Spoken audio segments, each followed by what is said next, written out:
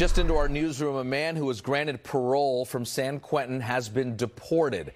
This is a high profile case. Last month, dozens of people gathered in Oakland to support Phoeun You. He served 26 years in prison for killing a man in retaliation for harming a family member, but after being paroled early, was handed over to immigration agents, ICE. Supporters argued he served his time.